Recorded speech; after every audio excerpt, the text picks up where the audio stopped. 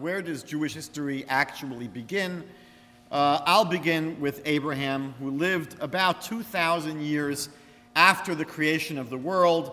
He lived about a thousand years after Noah, and he grew up in the area of the Chaldean nation, which is present day Iraq. And he's chosen by God to lead, leave his land. He's asked by God to leave his birthplace, to go to Canaan, Canaan, which today we call the land of Israel, and to start a family there that would eventually grow into a nation that would bring blessing to the world. That's what God actually tells Abraham. I'm not choosing you for any other mission than to be a blessing to the entire world. The world that we're living in is supposed to be a place where human beings can grow spiritually and get to know God. That was God's agenda in creating the world. There were no real other goals that God had in mind. He put people originally into the Garden of Eden. Eden in Hebrew, Eden means pleasure. So God wanted a world where we could experience the ultimate pleasure, and that's not a uh, delicious coffee that you buy somewhere.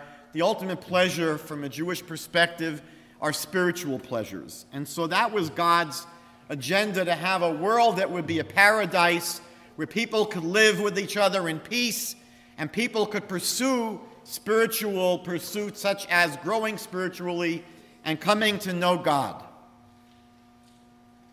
We know that the first 2,000 years of history, uh, the world was not very successful.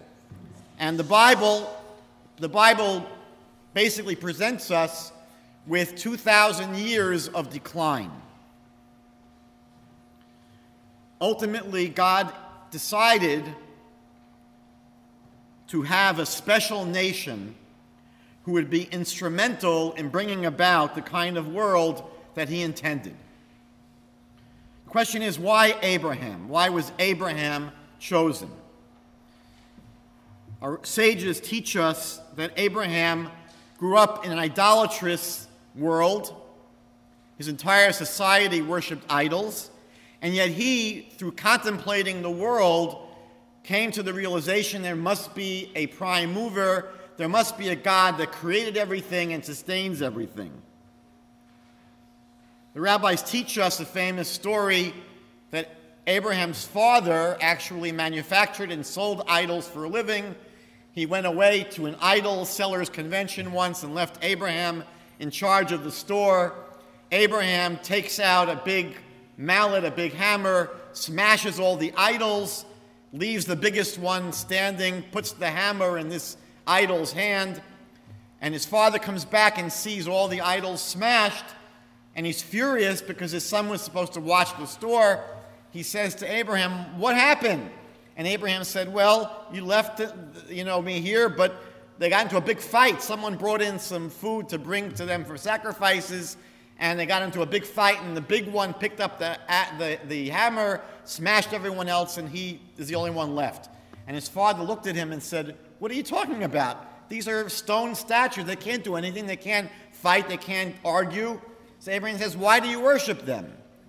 And Abraham got into a lot of trouble. He's ultimately thrown into a furnace by Nimrod, who's the ruler of the world back then, because of his refusal to acknowledge idolatry. He's also chosen, the Bible says, because God knows that he will be the kind of person to teach his descendants to follow in the ways of God. So it wasn't just that Abraham was great, but God knew that Abraham would be the kind of person who would pass on this legacy to his children. And finally, Abraham is chosen because he believed something special. There were other righteous people in the world. We're told that Noah was perfectly righteous. And yet, when Noah was told that the world was going to be destroyed, Noah didn't argue. Noah said, Fine, God, you know what you're doing. You want me to build an ark? I'll go in the ark. I'll save my family. But Noah basically doesn't object. When God tells Abraham that he's going to destroy the major population centers of the world, Sodom and Amorah and Admah Zeboim, Abraham is furious and says, Shall the God of the whole world not do justice? And he says, How could you kill the righteous with the wicked? He says, What if there are 50 righteous people in the cities? And you would think that his next line would be, If there are 50 righteous people, take them out of the cities and kill all the bad ones. But Abraham says, No, if there are 50 righteous people living within the city, meaning not just in the city, but within the city. They're not cloistered away in a monastery where no one can see them. They're living amongst the people. Abraham says, You have to save the whole city. And God says, okay, fine. And what if there aren't 50, 45, 40, 30? He bargains all the way down to 10. If there are 10 righteous people within the city, Abraham says you have to save the entire city because his thesis is that if there are these righteous people living as a model, modeling what it means to be righteous, they have the ability to transform the rest of the, the city. And that's why Abraham is chosen to, as the first Jew. Noah gave up on the idea that people could change. Noah saw people that were so wicked, he never could imagine that they would change. Noah lost touch with the idea that every human being is created in the image of God, and as such, they have free will and they can change. Abraham didn't lose touch with that. Abraham believed firmly that if people are shown a proper example, they can change. And God says, You're the man for the job. Because you believe that the world can change through the proper example, and that's who your nation is going to be. God makes a covenant with Abraham, promises him a land for his people that will be a base of operations for them to serve, as the Bible says, a kingdom of priests and a holy nation, a light unto the nations. That is Abraham's manifest. Abraham and his wife Sarah have two sons. Ishmael and Isaac, but only Isaac would carry on his father's mission. Isaac marries Rebekah, and they have twin sons, Esau and Jacob. Once again, God makes it clear that only one of the sons would carry on the mission. It would be Jacob who would be carrying on the mission of Abraham. Jacob marries two wives, Rachel and Leah, takes an additional two co wives, got four wives all of a sudden. They have 12 sons and a daughter. These 12 sons ultimately become the 12 tribes of Israel. Jacob's family is forced to go down to Egypt. There's a tremendous famine in Canaan, in Canaan, and they're eventually enslaved in Egypt for over 200 years. Now, the family came down with about 70 people, but over this 210 years, they grew into a nation of over 2 million people. Moses is chosen by God to lead the people out of Egypt, and God demonstrates his absolute control over the natural forces of the world with 10 incredible supernatural events that take place over the course of a year. God ends up splitting the Red Sea for the Jewish people to, to flee from the Egyptian pursuers. And then once they cross in safety, God makes the waters return and drown the pursuing Egyptian army. Seven weeks later, this small nation comes to the foot of Mount Sinai, where they hear God reveal the first two of the Ten Commandments. Moses stays there for 40 days to learn more laws from God. We all know that when Moses comes down, what he sees is not good. The people lost patience they expected Moses to have returned already. They build a golden calf to serve as an intermediary. Moses smashes the tablets, has to go back up to Mount Sinai for 40 days to pray for forgiveness. He has to go another 40 days and comes down 40 days later with the second pair of tab- second set of tablets. They stay in the vicinity of Mount Sinai for about a year, where they construct a portable sanctuary that would serve as a spiritual center that would house the tablets of the covenant. And then the plan was to go directly to Israel. Just before going into the land, the people decide that they need to send a reconnaissance mission. And they send 12 spies to check out the land to see if the people are powerful, how they're going to attack. 10 of the 12 spies come back with a very negative report We'll never do it. The people are too strong. It's never going to happen. And the nation begins to weep out of fear and out of rejection and out of a lack of trust in God. So God decrees that these people are not worthy of going into the land. and he decrees that they will wander for 39 more years in the desert until that generation dies out, and where the new generation can spend those 39 years developing an intimate trust and knowledge of God. After wandering in the desert, they finally come into the land, they conquer almost all of it. What they don't conquer turns out to be a problem for them. The people that are living there are not easy to get along with, cause many problems, but they conquer most of the land. They divide it up amongst 11 of the 12 tribes. We know the tribe of Levi did not get land, they were the teachers, and they had to circulate all over. They spend the next 360 years in the land basically being led by various judges. And during this period of the judges, they're not doing well. The book of Judges tells story after story of spiritual and moral failure on the part of the people. Finally, the great leader emerges, Samuel. And Samuel becomes an incredibly charismatic and powerful leader, and the people demand a king. Samuel suspects it's not for the right reasons. The people are saying, We want a king like all other nations have a king. And that's not why we should have a king. But God tells Samuel that they should have a king. It's okay, he gives permission. And they first choose Shaul, Saul, to be the king of the Jewish people of Israel. He ultimately does not follow God's instructions properly, and he refuses to take responsibility for his mistakes and so he's replaced by David. The prophet Samuel anoints David to be the king of Israel, who turns out to be a great leader both militarily and spiritually. He composed the book of Psalms, which basically expresses his intimate relationship with God. David was upset that a permanent home was not built when the people came into the land of Israel hundreds of years earlier that a permanent home for God's sanctuary, for the tablets of the covenant, and for the worship of God, it was not constructed. They left it a portable sanctuary that went around, that moved around.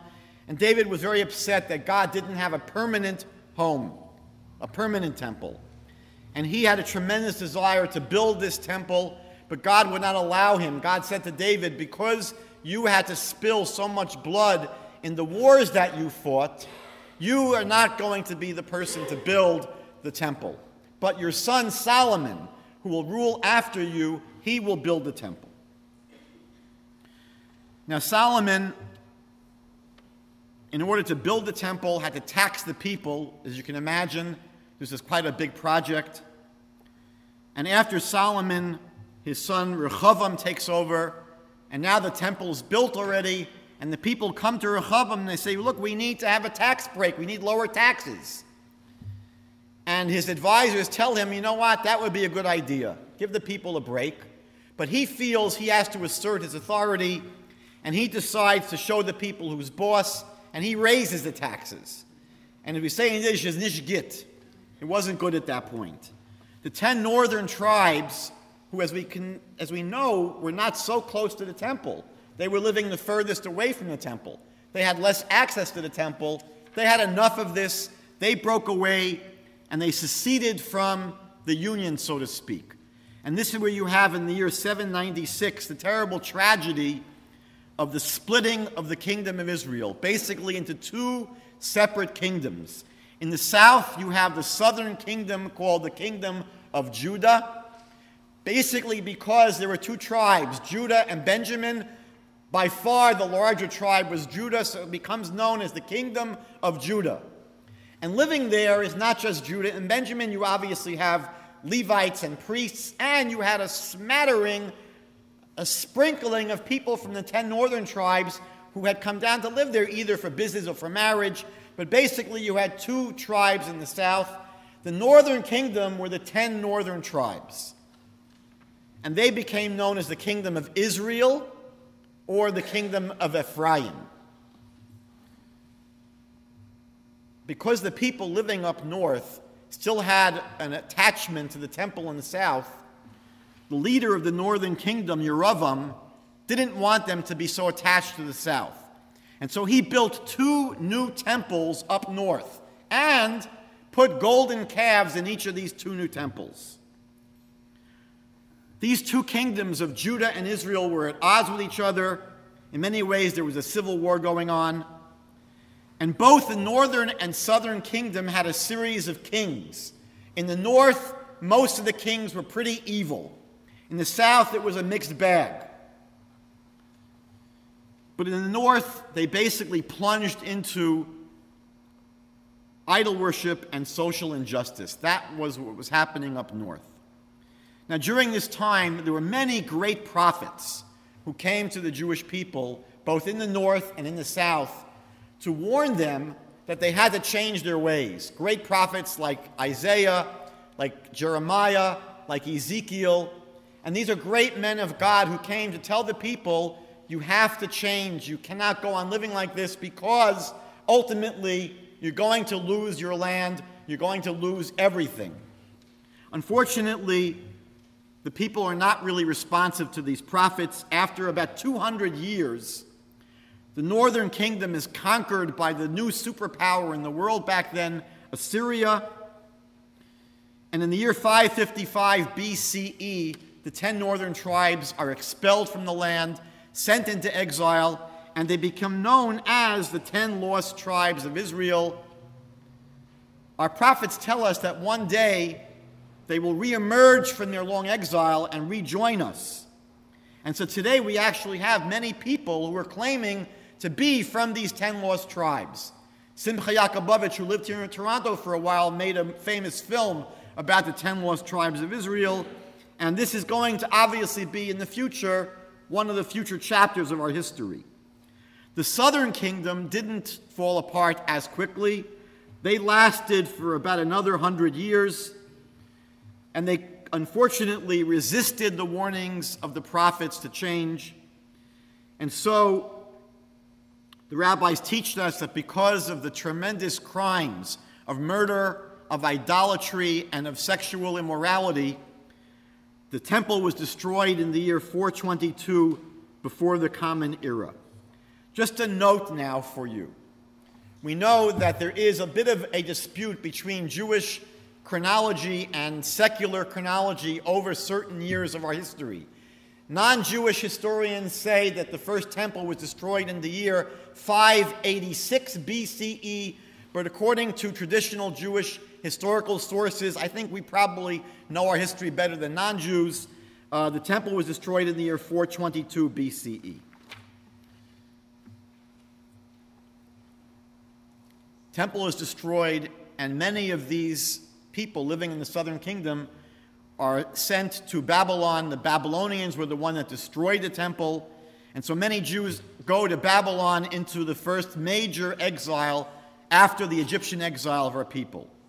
Now, because most of the people alive at that point, or at least that were around, identifying as part of the people of Israel, descendants of Abraham, Isaac, and Jacob, most of them were from the tribe of Judah that's the point in our history at which most of us became known as Yehudim or Jews. Prior to this, we were Israelites. But the 10 northern tribes, the kingdom of Israel, went missing. So at this point in our history, that's basically when all of us become known generically as Yehudim or Jews. Jeremiah predicted that the Babylonian exile would only last 70 years. 70 years. And that's what happened. After 70 years of being in exile in Babylon, the Babylonians are conquered by the new power in the world, the Persians.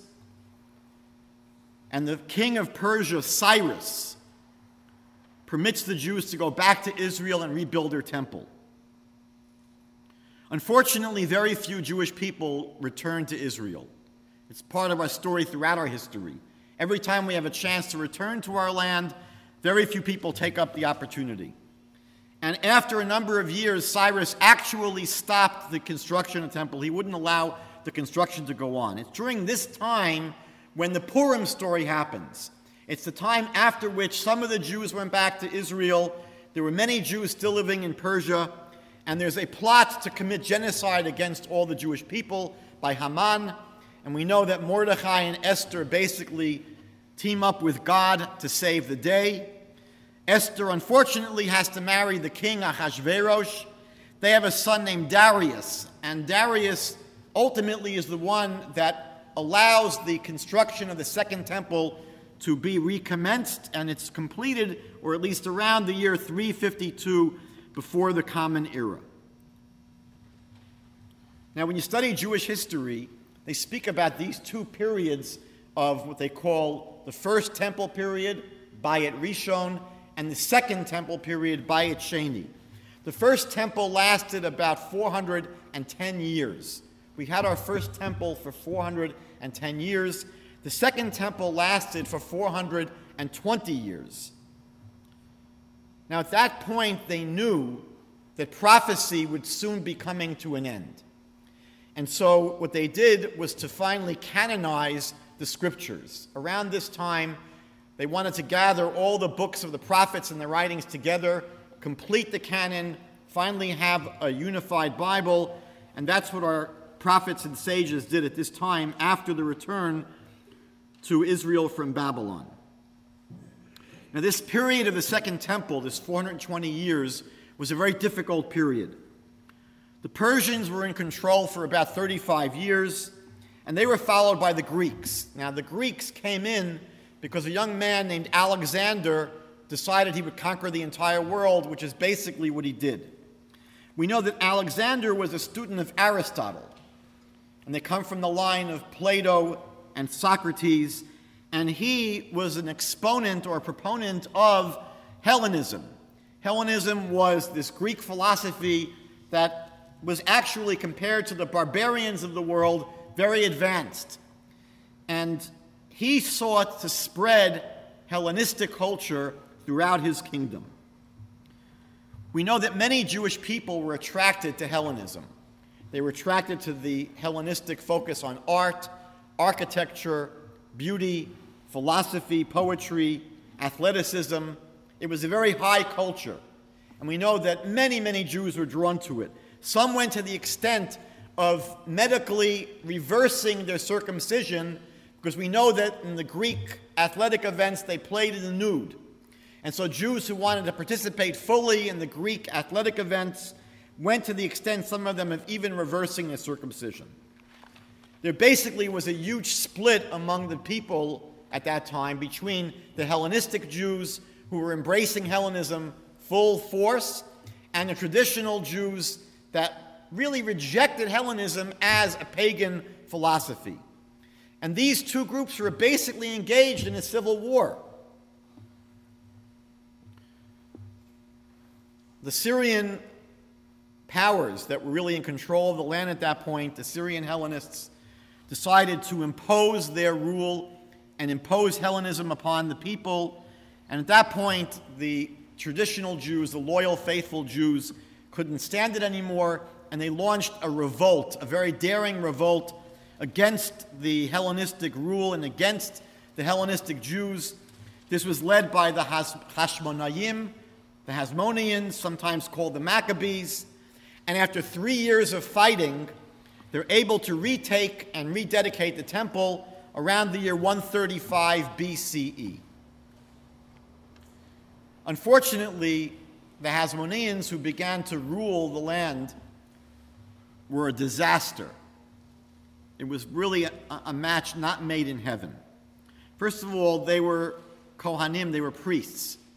And priests were not supposed to be the rulers and kings of the people. The rulers and kings were supposed to be from the line of Judah.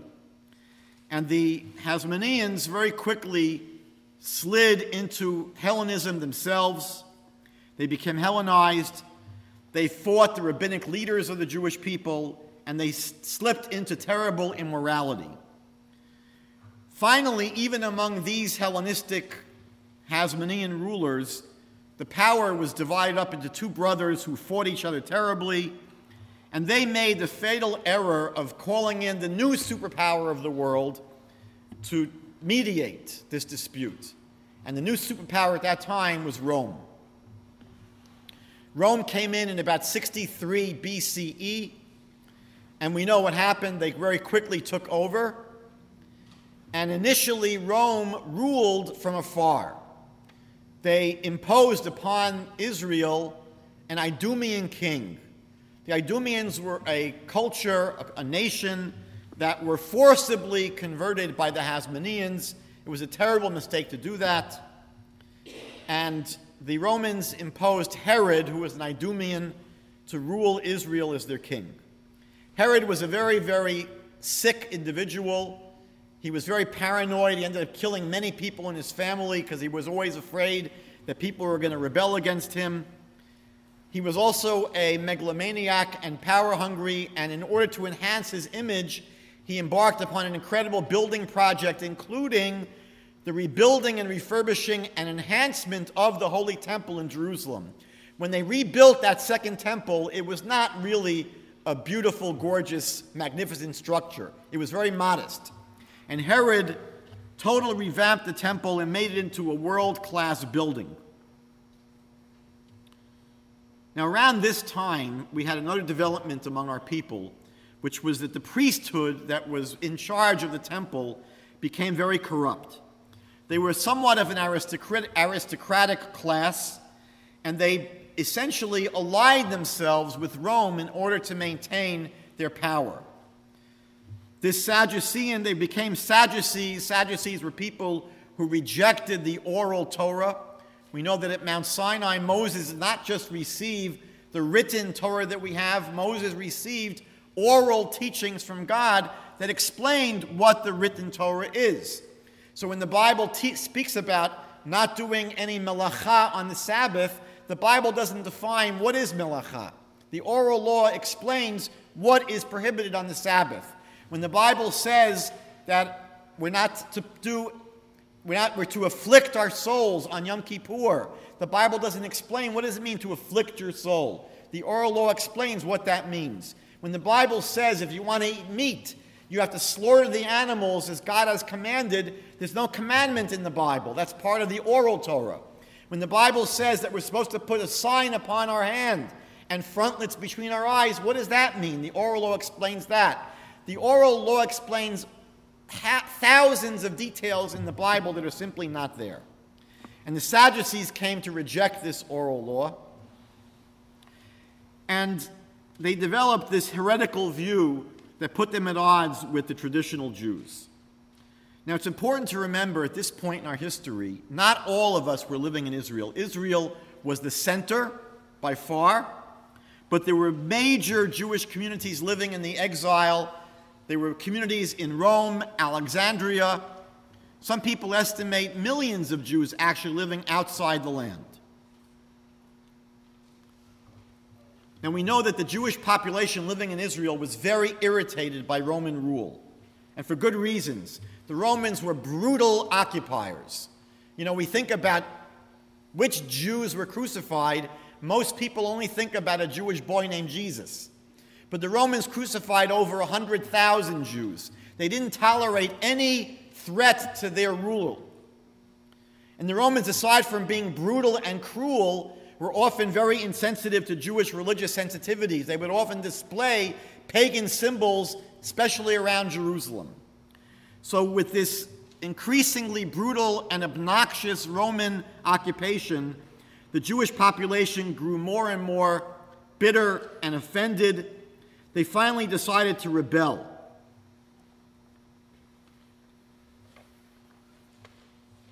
In 66 of the Common Era, in the year 66, they launched a revolt.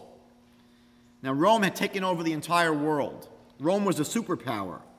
And they finally had enough grief from this tiny little nation, so the Emperor Nero sent Vespasian to crush the revolt.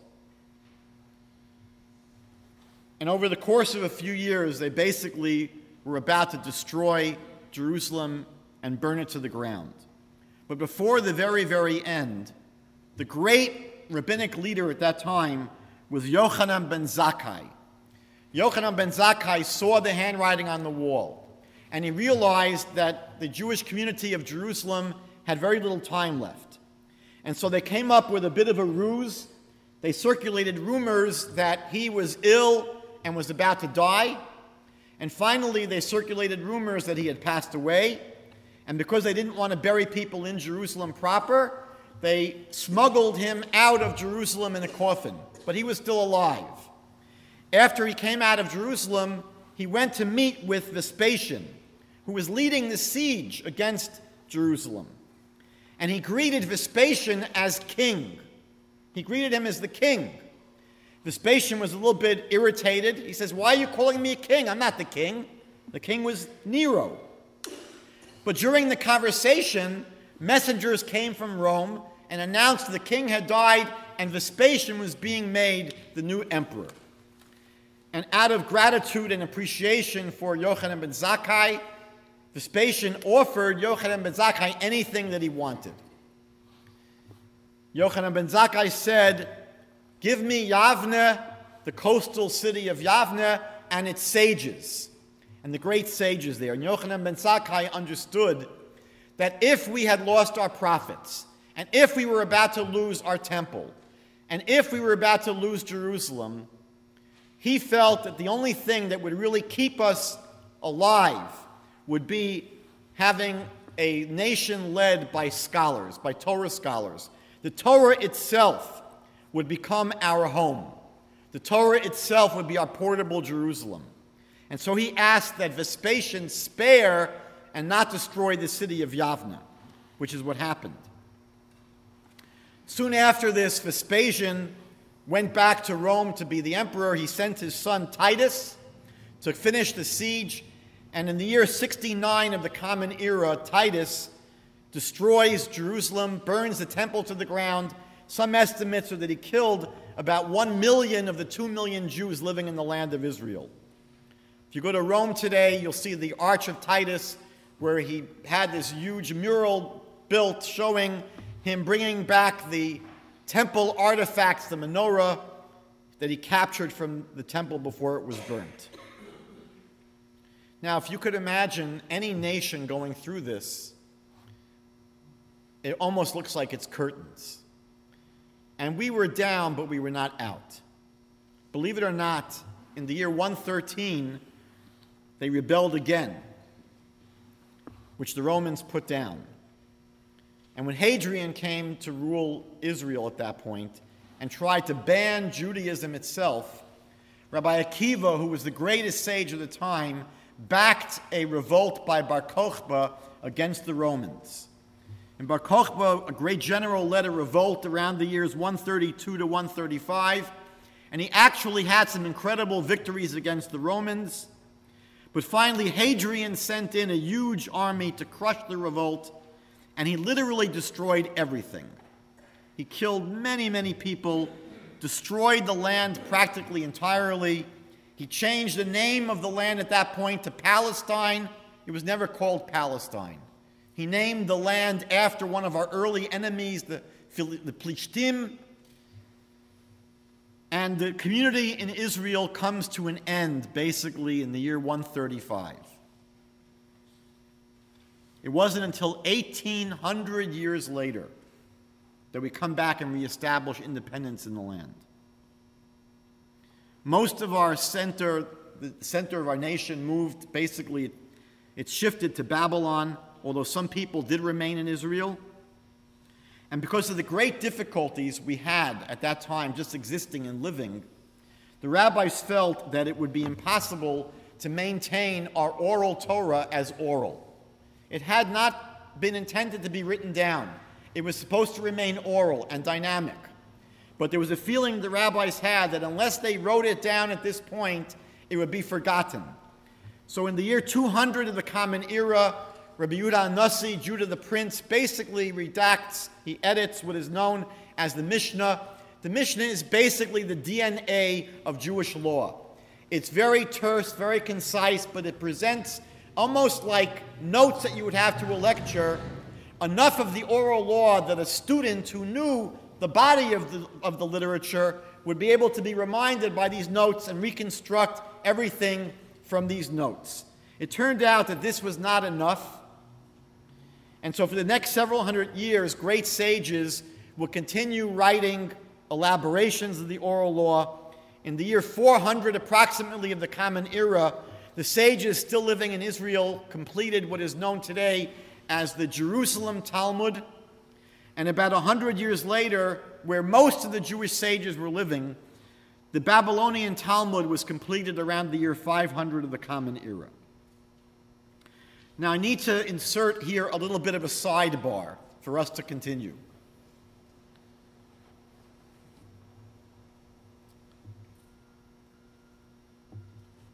During the Roman occupation, before the destruction of the temple, there was tremendous messianic expectation and anticipation among Jews. That always happens in Jewish history. Whenever we are suffering tremendously at the hands of persecutors, there's always the hope that God would send the Messiah to redeem us and to bring us into a world of peace. And so, before the temple was destroyed, there are a number of Jewish people who claim to be the Messiah in the early part of the first century. One of them is someone that we know today as Jesus of Nazareth. Jesus of Nazareth meets the exact same fate as all the other people who claim to be the Messiah. He is crucified by the Romans. Some of his followers were not able to accept this terrible end, and so they expected, they hoped that he would come back one day to finish the mission. That small group of Jewish people who thought that Jesus was the Messiah and put their hope in his return, they did not last very long. Within about 150, 200 years, that group of Jews who thought that Jesus might have been the Messiah and were hoping for him to return basically come to an end. But while this is going on, there's a Jewish person named Paul of Tarsus, Shaul of Tarsus. And Shaul never met Jesus, but has a mystical vision. He claims he has a mystical vision where Jesus comes to him and says, You are to follow me. Paul initially tries to convince Jewish people living in Israel to accept Jesus, and they won't budge. They're not interested. As far as they were concerned, Jesus did not accomplish anything. He died. He didn't fulfill anything the Messiah is supposed to do. So Paul, in desperation and aggravation, says, Look, since the Jewish people are not interested in Jesus, I'm going to go to the Gentiles. And that's what Paul does. Paul now runs around the ancient Greco Roman world and he manages to convince many non Jewish people to believe in Jesus. And this basically becomes the start of Christianity. It does not start off very quickly. It takes approximately 250 years, 300 years, until someone named Constantine who just happened to be the emperor of the world, converts to Christianity. Around the year 325, Constantine sends Christianity into the big leagues by essentially making it the official state religion of the entire world. And this has a tremendous impact upon the history of the Jewish people because since Christianity is now the official religion of the entire world, our history became entangled with them, and it was usually not very good for us. Now, for about 500 years after the redaction of the Talmud, so from approximately the year 500 till approximately the year 1000, the leadership of the Jewish people are a group of sages, scholars that are called Geonim. Geonim, a Gaon is a genius. I don't think they called themselves geniuses, but that's what they were referred to as the Gaonim. They were basically based in the academies of Babylonia, in Sura, in Pumbedita, and they would make rulings on questions of Jewish law. They would interpret the law, they would adjudicate questions of law, and people would send them inquiries from around the entire world. These were the people that you turned to if you had a question about Judaism. And so people wrote to them and they published their writings. We still have the writings of these Geonim today. Now, the next major development in world history, which also had an impact upon the Jewish people, was the birth of Islam in about the year 1610. At the same time that the Roman Empire was beginning to fray, Islam very quickly conquers a tremendous amount of land, and in the year 711, they conquer Spain, which is in the heart of ancient Roman Europe. So, what happens over the next several hundred years is that the Jewish world itself splits into two areas. You have many Jews that begin settling in a part of the world that we refer to as Ashkenaz, which is Germany and France. They make their way up to England. But you have the movement of Jews out of Babylon, out from the Middle East, and up in towards Northern Europe and Central Europe. And then you have other Jewish communities that basically set themselves up in lands that we call Sfarad, the Spanish lands, Iraq, Yemen, Portugal, Spain, Morocco, etc. These become the two major centers of Jewish life in the world. One of the movements was towards Spain. And after Islam conquered Spain from the Christians, Jews lived there actually in much better conditions than they lived under Christian lands. There's what they refer to sometimes as a golden age in Spain, where Jews were more or less left alone and were able to thrive. This ends approximately 300 years later, however, around the year 1000, when a more fundamentalist Islamic leadership takes over and Jews begin to become persecuted. After the period of the Geonim, around the year 1000, the last of the Geonim was called Rav Hai Gaon. A period in Jewish history called the Rishonim begin. These Rishonim were the first ones. And these are the scholars that basically led the Jewish people from about the year 1000 till about the year 1650. Now, even though at this point in our history, our existence is very, very tenuous, we're undergoing incredible persecution and hardship. In spite of this, it was a period of great creativity and scholarship among our people. It's quite incredible if you just think about how much was produced by these sages called the Rishonim, again, in the most trying of circumstances. Living through incredible persecution, both physically being persecuted and economically being starved. We had great sages, and I can't even name, maybe I'll spend time going on three of them, but there are hundreds of them. Rashi, Rav Shlomo Yitzchaki, who lived in France, near the border of Germany. He's born in 1040, he dies in 1105. Rashi, who was a vit, ran a vineyard, wrote a commentary to the entire Bible. When I studied in Israel in 1979 with Nechama Leibowitz, she would always tell us if you want to understand how great Rashi is, she said over 300 people wrote commentaries to Rashi's commentary on the Bible. Not only did he write a commentary basically to the entire Bible, he wrote a commentary almost to the entire Talmud, which is 63 tractates, and numerous other books incredible productivity by someone without a word processor, without a computer, without electricity, and living under the threat of a sword all the time.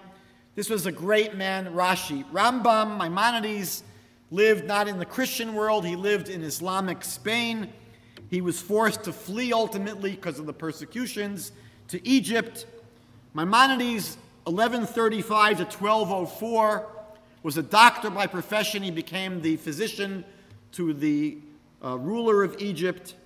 He was an incredibly prolific person who wrote works of philosophy, a magnum opus on Jewish law, was a great communal leader. He helped communities survive as Jews by issuing rulings, adjudicating writings. Uh, these people are giants that we can't even begin to understand. Nachmanides, who also lived in uh, Spain, but Spain at the time after the Christian church reconquered it, Ramban Nachmanides, 1194 to 1270, also wrote a commentary to the Bible, to the Talmud, many works of philosophy. These men are just impossible to imagine their greatness in spite of all the difficulties. Let me try to very briefly outline for you some of these difficulties. In 1096, Pope Urban II launches the First Crusade. He wanted to liberate Jerusalem from the Islamic rule. He felt that Jerusalem belonged to Christians. So St. Urban, Pope Urban II, tells Christians that if they die in this war of liberation, they will go immediately to heaven. There are many people volunteering for this job, but they realize why travel all the way to Israel to kill infidels? They have them living right in front of them. And so on the way to Jerusalem, they turned their wrath on many Jewish communities in Europe. The Crusades end up killing at least one third of European Jewry. They're butchering literally communities as they go along. Now, until the Enlightenment, which we'll see later on, living in Christian Europe was a nightmare for the Jewish people. There weren't one just one crusade, there were several crusades. There were blood libels where they would accuse Jews of killing Christian babies, taking their blood and using the blood to make our matzah. Once that accusation went out, it would be an excuse to exterminate the Jewish community. They accused Jews of desecrating the host. They would say that Jews would break into churches, steal the communion wafers, bring them back to their synagogues, take out little swords, and stick the swords into the communion wafers to torture the body of Jesus over and over again. Once that libel went out, it was another excuse to destroy Jewish communities. The Black Death that decimated large parts of the, of the European continent was blamed on the Jews. They accused Jews of poisoning the wells. Even the Jews drank from the same wells. But that was the accusation that the Jews are responsible for the Black Death. And over 300 Jewish communities were destroyed in the wake of the Black Death. There were forced conversions. There were many, many expulsions. There was economic privation.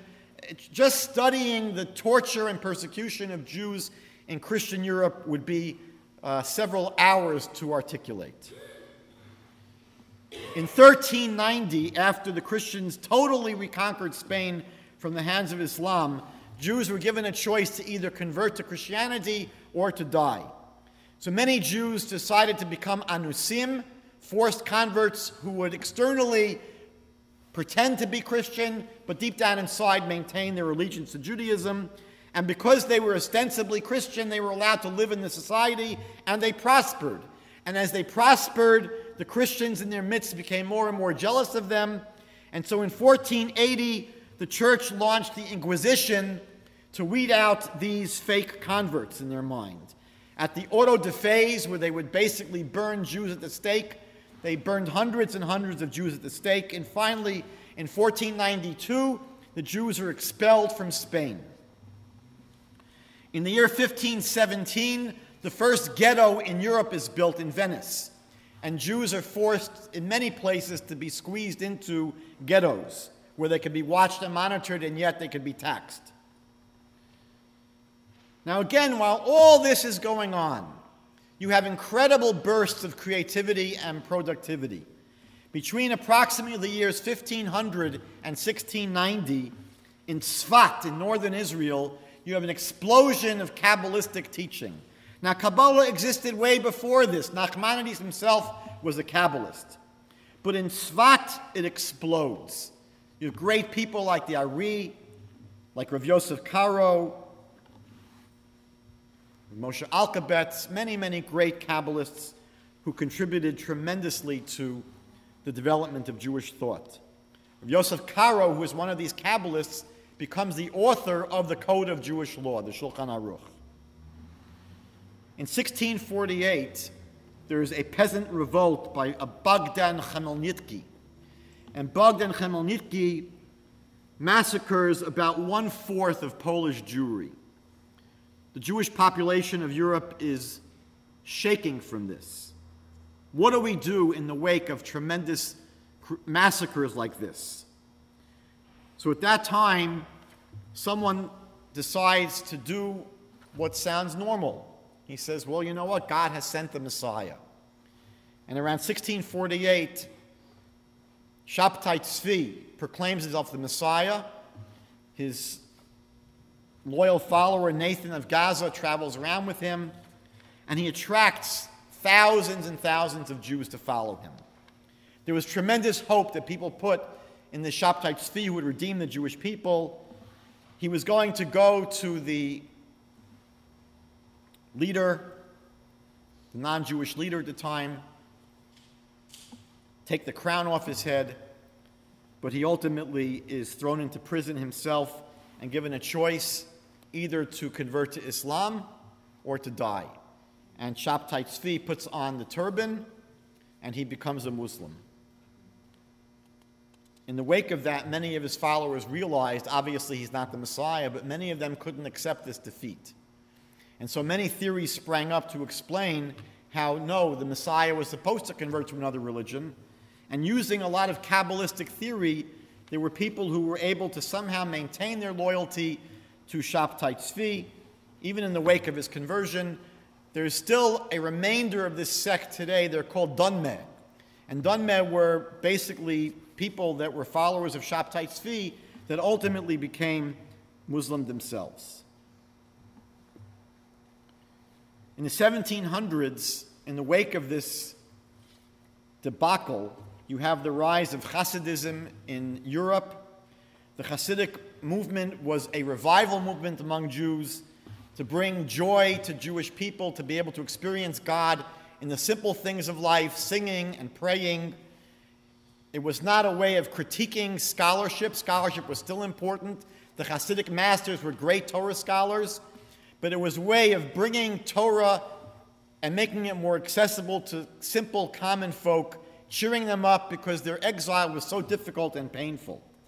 The Hasidic movement caught on and spread like a wildfire throughout Russia, throughout Europe. The next major challenge to the Jewish community was not through persecution, it was the exact opposite. The Enlightenment, which began developing in Europe in 1650 to 1780, was a time when traditional religions were questioned, the belief in a supernatural God was being questioned, the focus was becoming on reason, human reason, and this presented a tremendous challenge to traditional Judaism.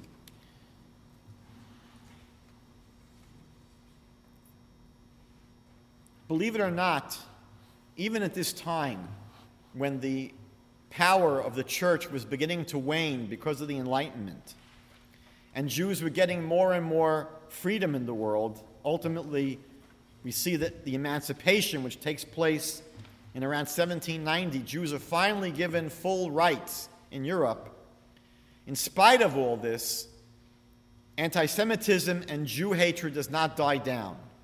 But now it becomes not religious anti Semitism so much as racial anti Semitism. The Jews are trying to control the entire world. And so we have documents like the Protocols of the Elders of Zion. And there's a tremendous spreading of anti Semitism and Jew hatred still throughout the world, even after the Enlightenment and after the Emancipation. In 19, 1894, there's the Dreyfus trial in France A person who was a soldier in the French army. He was brought up on charges for treason. He was basically railroaded. He was convicted unfairly. And it was very clear that the entire trial was a blast of anti Semitism. And because of events like this, the early stirrings of the Zionist movement start to move. We know that Theodore Herzl was tremendously impacted by the Dreyfus affair. And so you have at the end of the 1800s the stirrings of a movement to try to return to the land of Israel. We know that in the middle of the 20th century, we have the terrible Holocaust that takes place and wipes out six million Jewish people. But three years after the conclusion of the Holocaust, we returned to our land in 1948 to reestablish the modern state of Israel 1,813 years after we lost independence in the wake of the Bar Kokhba rebellion. Who would ever imagine that 1,800 years later, a people that was forced to leave their land would return? They tell a story that when Napoleon once came upon a group of Jews mourning on Tisha B'Av, he saw Jews in a magnificent synagogue sitting on the floor and crying and weeping, and he asked, What are these people doing? and they said they're mourning for their temple that was destroyed in the year 69 of the Common Era. And Napoleon said if a people could still be mourning for their temple and their land so many years later, Napoleon said, I'm sure they will one day return to their land. We saw a number of elements, a number of themes of Jewish history. These themes include elements such as chosenness, covenant, relationship to a land, a revelation of God's Torah. Unfortunately, periods of exile and tremendous suffering. But ultimately a concept of returning and redemption. One of the major themes of all of Judaism, and actually all of world history, is a theme that was picked up, among other places, in a book by Franz Rosenzweig called The Star of Redemption, where he speaks about the three major themes of creation, revelation, and redemption. That the first great event in world history was the creation of the world. God basically steps into history by creating a world. And then, many, many years later, God again enters history and reveals his will to the world. He reveals the Torah. And this is all for a purpose. It's all to bring the world back to where it was supposed to be in the beginning, which is the ultimate redemption. The Jewish holidays of Passover, Shavuot, and Sukkot really focus on these three things. Passover is the holiday which speaks about creation. We were created as a people. And Passover demonstrated that God created the world because it showed his control over nature. Shavuot, the next holiday, is the holiday of redemption, of revelation, because Shavuot commemorates the receiving of the Torah at Mount Sinai. But then there's Sukkot, the universal holiday where all 70 nations brought sacrifices, where the prophet Zechariah tells us that all the nations of the world will come to Jerusalem and celebrate Sukkot. Sukkot is the holiday where all human beings will ultimately come into this great Sukkah of peace. And so, where is Jewish history heading? It's only heading up from here. I'm sure we'll have our speed bumps. But the re entering into our homeland, the re emerging now of people who may actually be from the ten lost tribes, we're seeing the ingathering of the exiles. We're seeing an explosion of Torah scholarship throughout the world. And we know that ultimately what God promises is that one day all of humanity will be reunited, all of us realizing that we are brothers and sisters, all children of one God. As the prophet Isaiah says, in that day the knowledge of God will be as spread out throughout the world as the water covers the seas. And the prophet Isaiah says that when that happens, when we all realize we're all children of one God, Isaiah promises that there will be peace that spreads throughout the world. We'll beat our swords into plowshares, our spears into pruning hooks. Nation will not learn war anymore, and there'll be a world of peace and a chance for us to experience the kind of world that God intended for us, which is a paradise on earth for people to be able to pursue what's really good in life, which is to have a relationship with God.